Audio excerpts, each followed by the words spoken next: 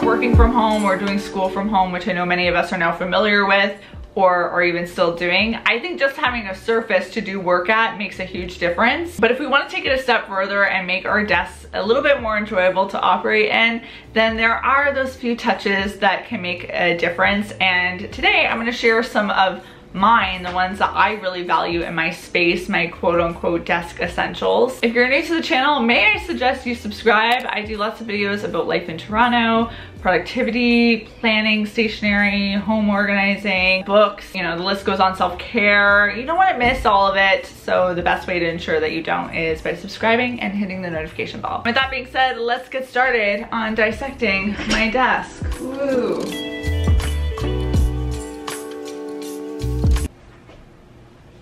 I'm unsure why I did that. I didn't think that went through. I do have to be here for this first segment. My actual desk is from Ikea. I will have it linked in the description box below. I really love it. It's a huge workspace for me. The Alex drawers on either side also give me access to so much storage that I really do need. As much as I love the desk though, I really want to talk about this office chair, which I know it's not the sexiest first topic to, to kick today's video off with, but I think it's going to be the most important desk essential I discuss because I, I know, I know firsthand the experience of having an office chair that is just not doing anything for you. This office chair was sent to me by Ikea for a collaboration I did with them on Instagram. This video though is not sponsored by them nor by anyone, uh, but just wanted to put that disclosure out there. But my previous experience with an office chair was when I first moved into this apartment five years ago, and I think this is something that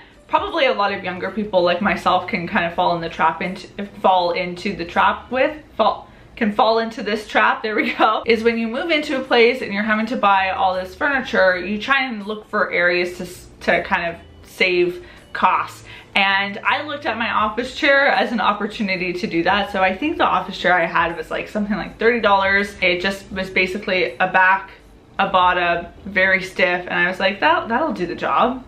That's fine. I failed to, though, really realize that th this is a chair that I spend my work days in Monday to Friday, sometimes on the weekend, uh, 9 to 5, usually longer. I sit in this chair at this desk doing work. And when you're spending so much time on a chair, you want to make sure that chair gives you some sort of support and that chair gave me nothing. So I would say do not be quick to cut costs on this purchase. Not to say that you have to spend a ton, a ton of money, but I think there are some things to look out for that make a chair a lot more comfortable. Like A, I have armrests, so just means that my, my arms are supported. I've got a backrest with a nice little neck pillow. There's a cushion on my lower back to kind of support that. So when I'm sitting back, it's not, it doesn't get sore like I used to. I can adjust things like the, the height. I can make sure I'm perfectly ergonomically at, at the position for my desk, you know? Oh, this needs to go up a little bit more. Oh, no. There we go.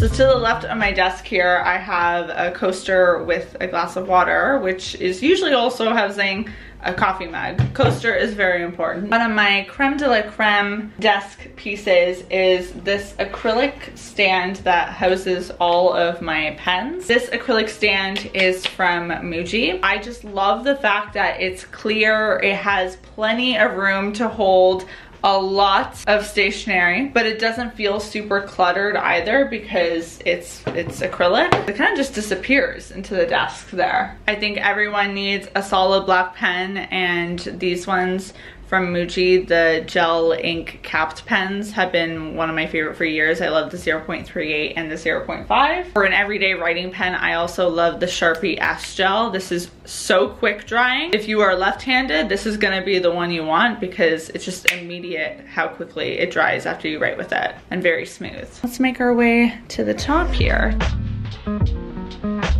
For years at this desk, I had in place of this pegboard corkboard tiles and I really do recommend those as a great option for those of you who are in dorms or in places where you don't want to put nails in the wall because they're easy to put up with command strip. But this pegboard system has a lot more versatility than the cork tiles. As you can see, beyond just being able to put papers, I can also store containers that have washi tape, binder clips. I've got a pen cup with my Archer and Olive acrylograph markers. I use these all the time in my bullet journal and don't forget if you use the code Caitlin's Corner, you can get 10% off your Archer and Olive orders. I've also got scissors and blue light glasses, post-it notes, masking tape, so many things, my goodness. And it just looks really fun and officey. So it's like decor slash functionality, which I really appreciate. And then obviously I can always rearrange these whenever I want so I can ensure that it's always a place that is is working for me. So if I don't really want as much stuff on there and I just want it to be more of a notice board, it's really easy to make that shift. I also have these photo ledges that you've seen plenty of times with photos. I don't feel like this is as much of an uh, of an essential. This is just something that makes the space for me a lot more pleasing to be in, but this has a lot of purpose. When you're doing later night work sessions, having good lighting is obviously very beneficial. And I wanna highlight my lighting here. Not to talk about the lamp itself, but you may have noticed that I have color changing light bulbs. These kinds of light bulbs just give you a lot of options to play around with. Even if you don't wanna go colored, you can just even affect the the coolness or the warmness of your white lights. I do my fair share of late night work sessions, so this is fun to kind of create ambiance in the room and make it a little bit more enjoyable. I've made my way down to desk level to talk about this guy right here, which is my fancy version of a mouse pad. If you've got a mouse, whether you have a desktop or you use a wireless one for your laptop, whatever it is, obviously having some sort of soft surface to mouse on, to mouse on, yeah, mouse on, is much easier than just going directly on the desk. Also, this can scratch. Now you can buy large mouse pads. My brother has has a very large mouse pad and he really enjoys it. But I find that using a placemat is a great alternative because it just warms up the space a bit. You can change them up with the season, make them a little decorative. I love this one on my desk right now. It's this brown fabric that really ties in nicely with the pegboards. But I also have like this blue one that has fringes and this one that's also blue. I have plaid ones for Christmas. This is more of like a spill proof option because it's not fabric, it's whatever this rubbery plastic material. So you can just get a lot of different looks with something simple. It's a thumbs up for me. I gotta say, the two monitor setup is really something I've grown to love. I don't have my monitors connected. I just have two different computers, but if you have two monitors hooked up to one computing system, I think it's just such an efficient way to do work. And I feel like anyone who goes dual monitor never, never goes back. But the thing I really wanna focus on when it comes to my monitor setup right now is my laptop tilt. As you can see, having a tilt just kind of gives you that extra little elevation so you're not craning your neck. And I do a lot of editing on this laptop, all of my editing on this laptop. So um, this piece really just aids in me not having uh, neck problems. So next to the office chair, this guy is like right right up there with being important because it's just, it's saving me from being a granny in my 20s. On the right side of my desk is usually where I store my, my planner, my bullet journal. This is my bullet journal Luma. For those of you who watch my bullet journal videos, you are very familiar with her. I use this for all my to-do lists for the day, planning out healthy habits and meals, and it's just my little life companion. I'll have to do a whole video though on all of the organizational tools I use beyond just a bullet journal to keep my life together. I also have this larger notebook right here and this is what I've been using as of late to do just a lot of like brainstorming rough outline work for videos. It's nice because it's a larger space to work with so you can really just go crazy. They're both from Archer and Olive and again, they will be linked down below. But let me just say, what a sexy color combo. I know we live in the digital age, so a lot of us are using virtual storage options, including myself, like iCloud and Google Drive, but I still think there's something to be said about having a physical hard drive containing all of your most important documents. I would go as far as to say is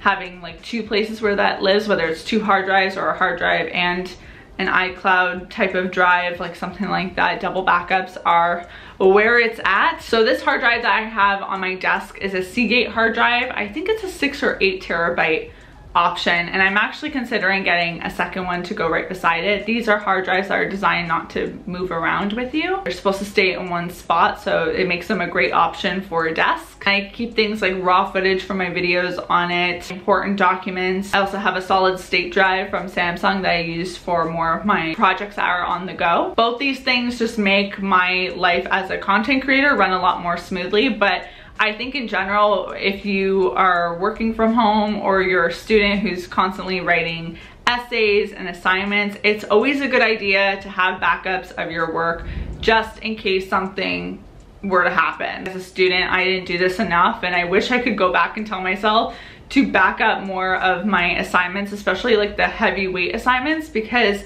I know there were times where the file existed only on my laptop and if something were to happen to my laptop the week uh, that something was due, I would have been in a super bad spot. Again, I know we live in the virtual world, so the amount of times that we probably have to print something is a lot less than it was, say, 10 years ago. But I still find that the need to print something comes up. And during those times, I'm really thankful that I have an all-in-one printer that can not only print things when I need it to, but also scan it. I think it can also fax, but I have never used that feature. I recently upgraded to an HP Envy printer and I really like how it handles artwork or color for things like stickers or photos. So happy with that. But what I really love is the fact that I'm subscribed to the HP Ink service. So basically my printer is talking to HP and it's constantly telling it where my ink levels are so that it knows when I'm about to run out of ink and then when when that happens HP just sends me new ink and I never have to think about buying ink ever again. So if you're in the market for a new printer and you're trying to weigh the pros and cons of all of them like take note of that as something to look into.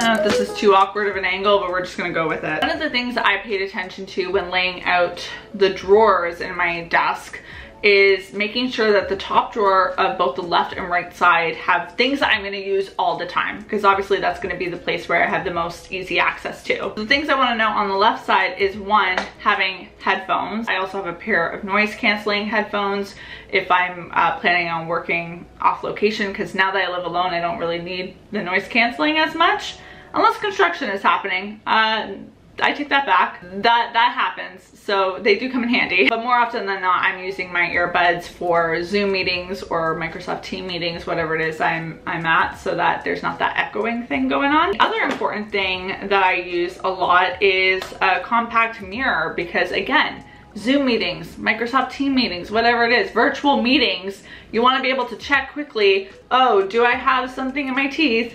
No, we are good. This is a compact by Beauty Blender and it has like that extra step of a little blotting uh, sponge that all the oil on my face can be absorbed. I'm an oily gal, so this gets used a lot. I guess a calculator I use often too. I know like we have calculators on our phone, but I am that person that loves the sound of a click-clack calculator. It feels like I've got more of my shit together, I don't know. It's not logical, I never said it was. I think the most important thing I would note on the right side here is this little pouch containing a microfiber cloth. I've actually got two of them in here, but I use this all the time to clean my dirty, dirty electronic screens. I don't think I can I can classify any of these other things as necessarily essential. Imagine if I was like, you must need citrus shaped erasers or you're just not gonna be successful at life. The one thing that I didn't mention here in this video that I don't own but I need to own is a paper shredder. I've just gotten in the habit of ripping up